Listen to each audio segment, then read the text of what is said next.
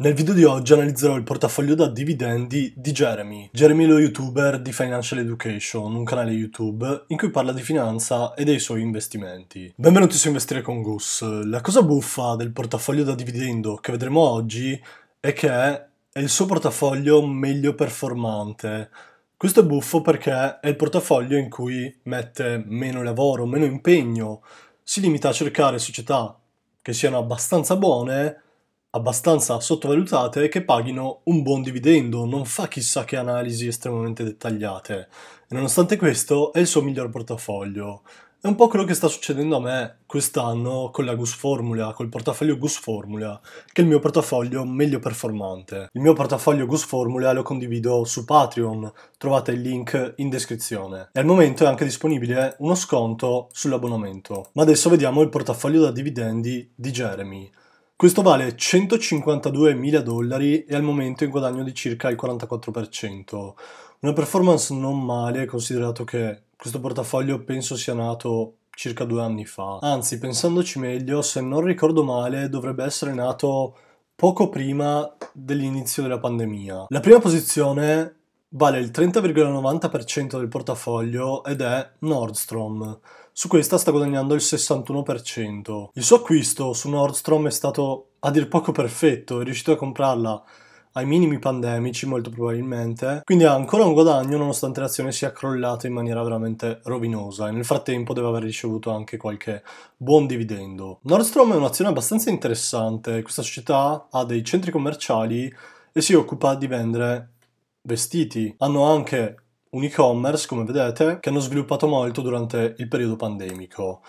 Ma la cosa più interessante di Nordstrom probabilmente è la valutazione. Come vedete al momento il price earning forward è 6,49. Chiaramente qua bisogna fare un po' di attenzione perché bisognerà vedere se la E del PE, quindi gli earnings, gli utili, saranno in linea con le previsioni degli analisti o se magari saranno deludenti. Però, come vedete, il price earning forward più basso mai toccato è stato intorno a 5,8 durante la grande recessione. Normalmente l'azione sta tra 10 e 15.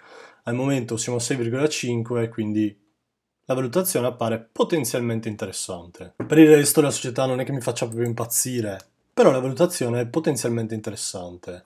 Poi la seconda posizione vale il 22% ed è Tapestry, questa è un'altra società di moda che detiene vari brand anche abbastanza famosi come Couch. E su questa sta guadagnando il 162%, anche qua un acquisto veramente ottimo. Anche nel caso di Tapestry il price earning forward appare molto vicino ai minimi storici, la valutazione sembra essere molto depressa. E le stime degli analisti sono anche abbastanza buone. Tapestry è un'azione che io ho valutato diverse volte, l'ho guardata con interesse molto spesso, però alla fine non ci ho mai investito. Il mio dubbio su questa società sono i brand, perché ok, sono abbastanza buoni, abbastanza famosi, ma niente di che. Non sono brand particolarmente importanti.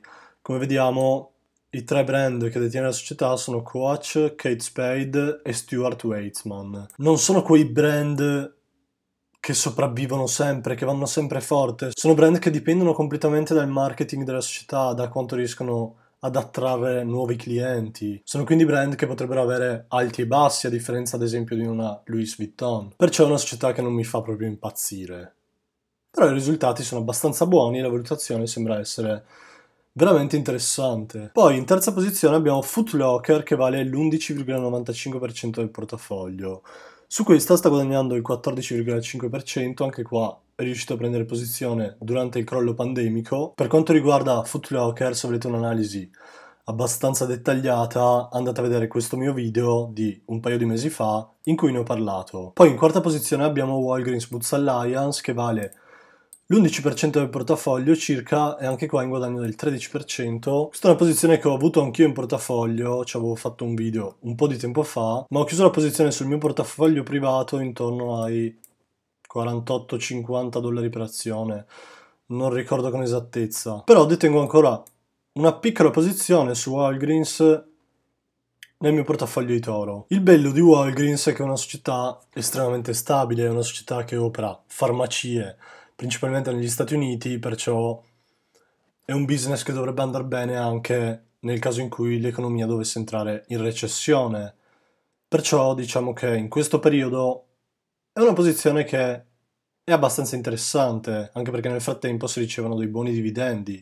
La valutazione è storicamente molto bassa, come vedete in passato la valutazione è stata ben più alta dei livelli attuali e sinceramente penso che una società di questo tipo, una società così stabile, soprattutto in un mercato come quello attuale, meriterebbe dei multipli ben più alti di un price earning forward di 8,64. Anche perché recentemente la società ha messo in atto un turnaround che per adesso sta andando a buon fine, hanno ridotto il loro debito in maniera considerevole, perciò penso che meriterebbe un'espansione dei multipli. Poi abbiamo Pfizer, altra società estremamente stabile che vale il 7,5% del portafoglio.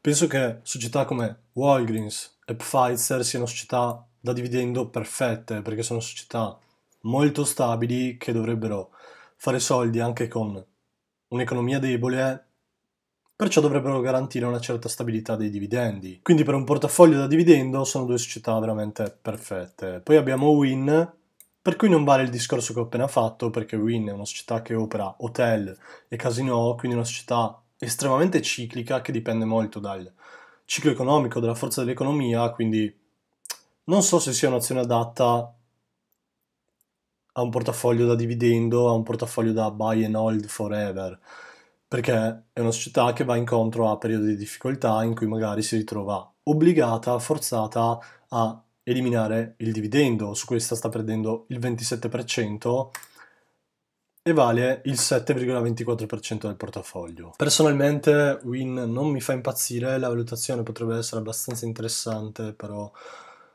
le società cicliche non mi piacciono molto e Win ha anche una forte esposizione alla Cina perché ha dei casino o forse un solo casino, non so dirvi con esattezza, a Macau. Recentemente c'erano state delle difficoltà con le licenze per l'operatività in Cina, quindi bisogna stare molto attenti anche a questo.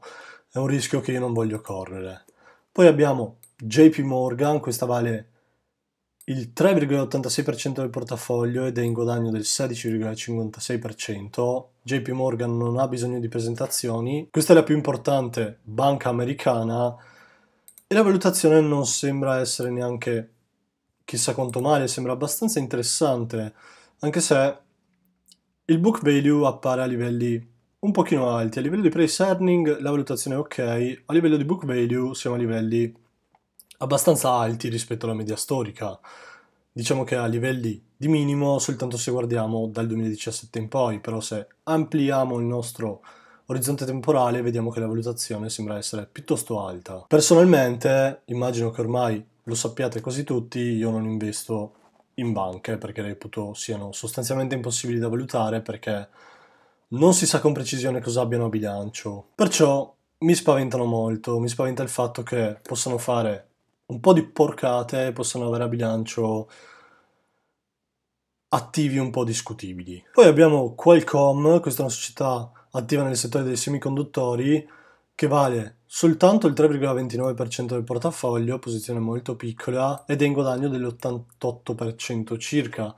Peccato abbia costruito una posizione così minuscola perché ha veramente ottenuto un gran gain. Qualcomm è un'azione molto interessante, come vedete la valutazione è ai minimi storici. Probabilmente però il mercato teme la ciclicità del settore dei semiconduttori, questo è un settore che tende ad essere molto ciclico, soprattutto per certe società come Micron e Qualcomm. Infatti le stime degli analisti non sono sto granché.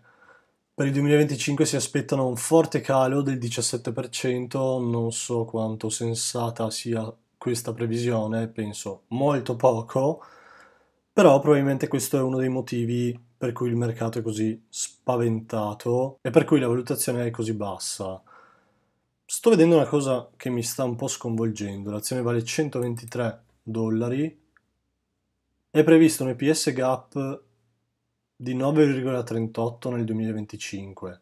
Quindi il price earning è 1 e qualcosa. Penso ci sia un qualche genere di errore in queste stime di TICR Adesso facciamo una piccola verifica. Anche su Market Screener c'è lo stesso bug, chiamiamolo così. Mostrano EPS di 10,9 nel 2022, però ai prezzi attuali lo considerano un price earning di 11,3.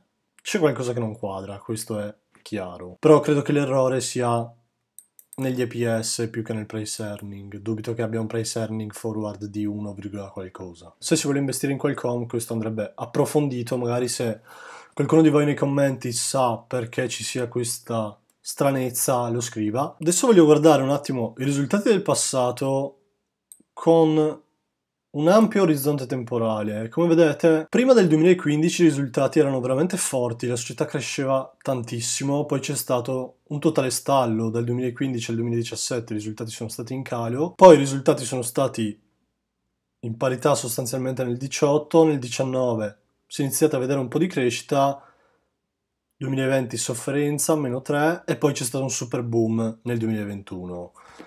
Questo dimostra come il settore sia altalenante, estremamente difficile da valutare. Il settore dei semiconduttori è probabilmente uno dei settori più complicati da valutare.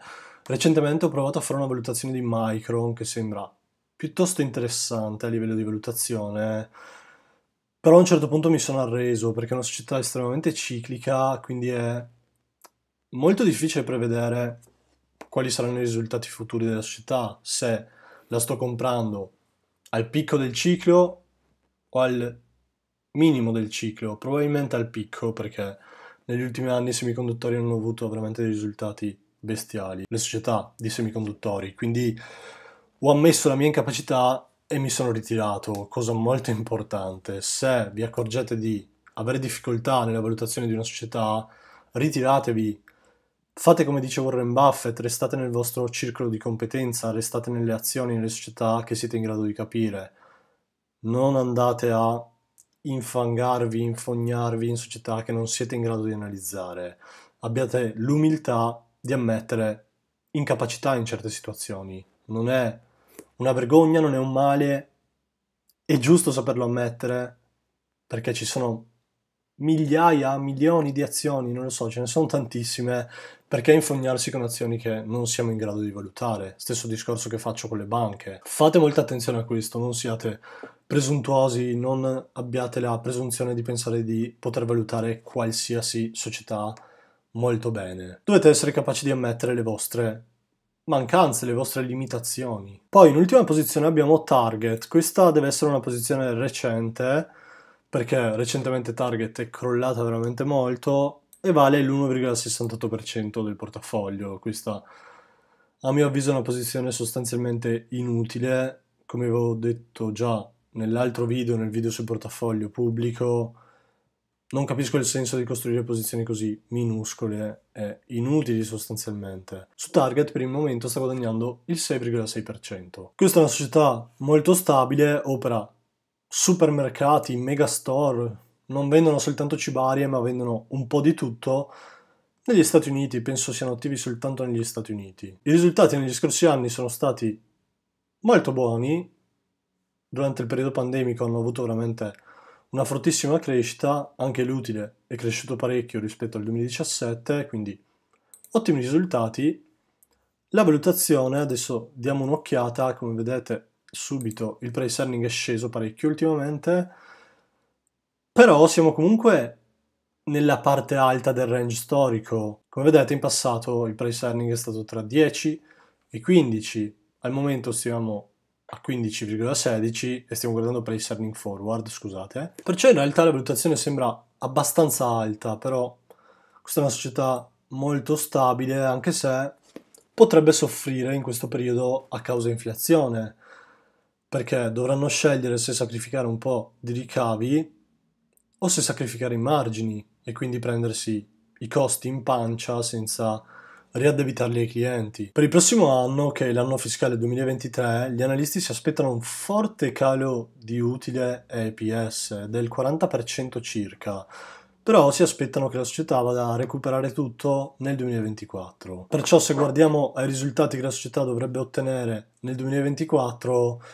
la valutazione diventa un pochino più interessante perché il price earning forward dovrebbe essere intorno a 11,5, utilizzando i risultati previsti per l'anno fiscale 2024, quindi la valutazione non è neanche così male. E anche guardando alla previsione all'anno fiscale 2027, la società sembra abbastanza interessante perché applicando un price earning di 15 all'EPS previsto di 18, la valutazione potrebbe raggiungere 270 dollari, al momento vale 142.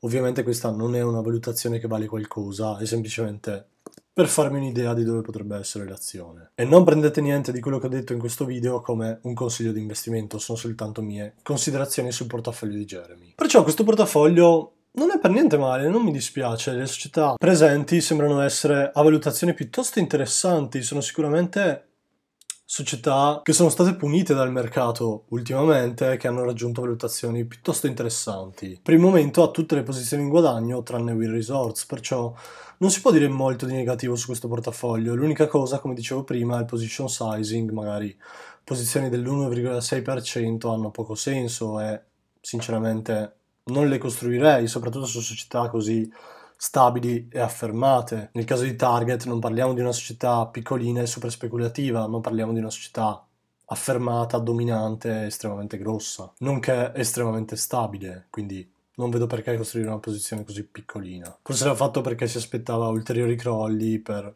costruire la posizione con calma. Ultima cosa da dire, questo portafoglio è estremamente piccolo, per Jeremy conta poco e niente, è il portafoglio più piccolo che ha. E aggiungerei purtroppo perché è il suo portafoglio meglio performante. Fatemi sapere cosa ne pensate di questo portafoglio, lasciate un commento e ovviamente ricordatevi di lasciare un mi piace, iscrivervi al canale e condividere il video con tutte le persone che conoscete.